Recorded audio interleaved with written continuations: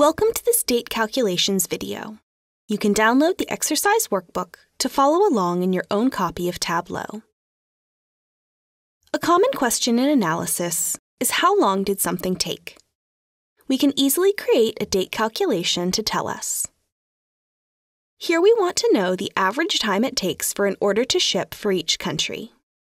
Let's right-click in the data pane and select Create Calculated Field. We'll call this time to ship. We'll use a date function called datediff to get the amount of time between order date and shipping date. The datediff function needs to know what date part we want to consider. We'll use day. Note that the date part needs to be lowercase, in single quotes, and singular. We also need a comma. Next, we'll bring out our start date, or order date, followed by another comma, and our end date, or ship date, and close parentheses.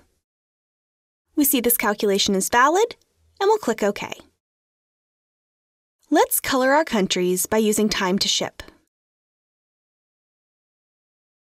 We'll change the aggregation to average and we can edit the colors to a red-black diverging palette. And we'll reverse it because more time is bad. Now we can quickly see the countries with the longest shipping times, and we can focus on those areas. Tableau works very well with dates once it recognizes the data is a date. However, in this dataset, our dates aren't in a common format. We have our dates stored separately as day, month, and year. We want to create a calculated field that combines these three fields into one that Tableau can recognize. Right-click, Create Calculated Field.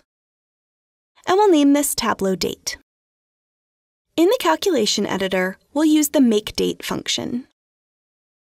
The makeDate function lets us combine separate fields into a date by simply dragging out the pieces in the right order.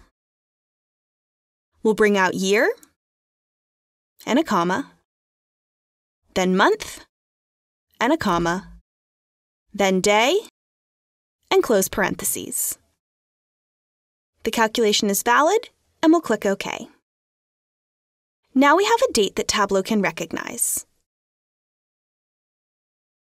and we have the full drill down capabilities that we expect. Thank you for watching this date calculations training video. We invite you to continue with the free training videos to learn more about using Tableau.